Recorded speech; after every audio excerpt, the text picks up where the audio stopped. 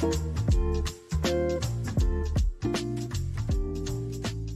my name is Faith Muhammad.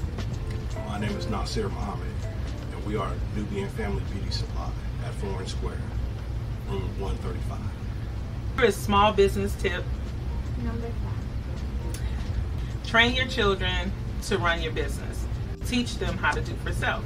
That can be from ordering products, counting inventory, stocking inventory, counting money, operating the cash register, and customer service skills.